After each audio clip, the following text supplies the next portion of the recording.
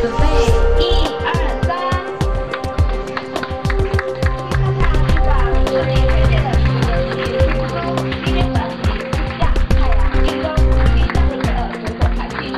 也希望在场的每一位嘉宾能够继续支持“下太阳剧”，推动戏剧文化艺术教育和社会公益活动。我们请台上嘉宾。不的，把自己有限的精力、人力、物力。都投注在这样的一个可能有人说是深不见底的一个社会事业，确实是不容易。十年聚运，我相信这本书不单只是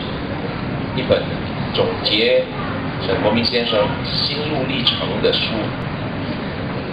也同时呢反映出我们这班年轻人，这班应该说是勇气可嘉的志愿工作者、志愿义工。那么聚运的志愿义工在马来西亚其实是相当，应该说在物质条件还有方方面面的条件是相当的匮乏，但是依然能够撑得住、挺得住，一路走来到今天，我相信我们社会人士不管我们对聚运知道多少，我们都应该有这一份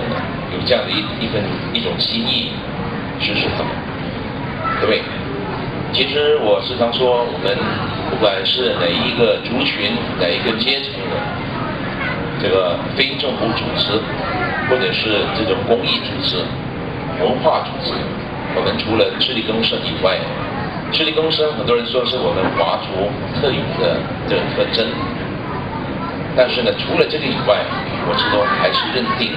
我们有这样的一个必要。有这样的一个权利，向各级政府的要求这方面的资助，不管今天啊是中央政府或者是州政府，我这一话呢，我当官的时候我说过，今天我还是做这样的同样的话。那同时，我们也希望我们不管是来自是朝野双方的这个政治政治工作者，我们都有这份义务。在我们许条件许可之下，给你呢这个剧运的工作者各方面的资助，我们包括场地的资助，光只是所谓说拨款啊，各位不要以为说我说的只是这个拨款，但是拨款呢就是把这个公款，那么我们拨给了有关的这个机构或者是呃民间组织。那更重要的是，我们要给他创造条件，包括活动的空间，包括他们行政上，他们能够呢 没有太多的这个障碍，能够路走得通顺，路路能够越走越宽，越越来越多人能够参与他们的队伍，这是我们所谓的创造有利条件。我想这些呢，都是我们总结经验的。总结经验之后，我们或许可以呢做的比较做的比较踏实一点，做的比较有信心一点。那么我也希望也祝愿这个陈国民先生以及他这一帮应该说是兄弟帮吧，呃，能够呢把这个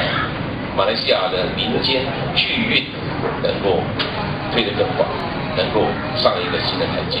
祝愿成功，谢谢。